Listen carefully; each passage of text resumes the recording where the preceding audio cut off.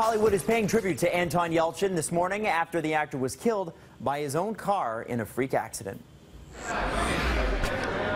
Anton Yelchin was killed by his own car after it rolled down his driveway and pinned him against a brick mailbox pillar and a security fence early yesterday morning. He was 27 years old. Officials believe the vehicle was not properly parked, likely left in neutral before Yelchin walked behind it. His driveway is on a steep incline and his vehicle, a 5,000-pound Jeep Grand Cherokee. These photos obtained by TMZ show the force of the impact. The gate's metal is bent. There are some questions today about whether Yelchin's Jeep was one of the models that was recalled by Fiat Chrysler earlier this year for their rollaway risk after drivers were injured when they mistakenly thought they'd shifted their car into park. At present, it's not clear which model year Yelchin was driving. The actor was found by his friends after he didn't show up for a rehearsal on Saturday night. The freak accident cut short the promising career of an actor on his way to becoming a household name. Yelchin, who was born in Russia but raised in the States, perhaps most notably played the role of Chekov in the rebooted Star Trek franchise. He will appear in the third entry, Star Trek Beyond, next month. J.J. Abrams, who cast and directed Yelchin in all three films, wrote in a touching note that he was brilliant, kind,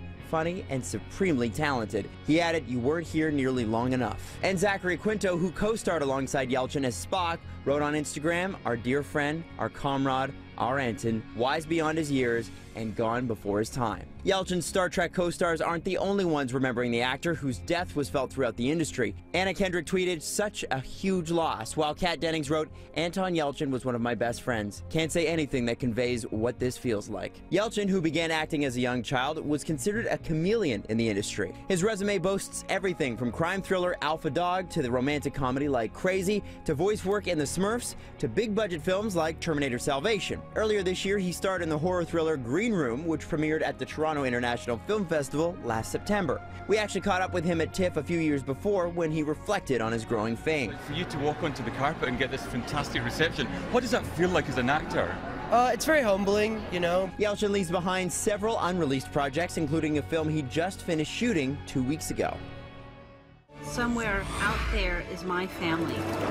I can't find him on my own. Not only did Dory swim to the top of the box office this weekend, she also blew a big record out of the water. Dory, you are about to find your parents. And when you do that, you'll be Home. Finding Dory nabbed $136.2 million in North American theaters, surpassing expectations and becoming the top earning animated debut of all time. The Tale of the Blue Tang pushed the tale of a green ogre, Shrek III, out of the number one spot. Finding Dory is, of course, a sequel to 2003's Finding Nemo.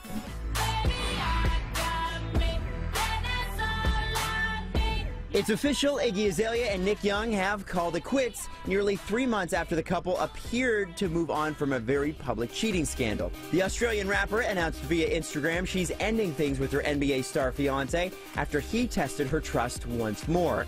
Iggy wrote, Unfortunately, although I love Nick and have tried to rebuild my trust in him, it's become apparent in the last few weeks I am unable to. As we reported back in March, a video appeared online that apparently showed Young discussing other women he'd slept with while dating Iggy. It was allegedly accidentally leaked by Young's teammate D'Angelo Russell. At the time, Iggy laughed off the drama. Young confirmed the breakup news himself on Twitter with one word single. As always, get your entertainment news here first in the morning and anytime on Twitter at NCity.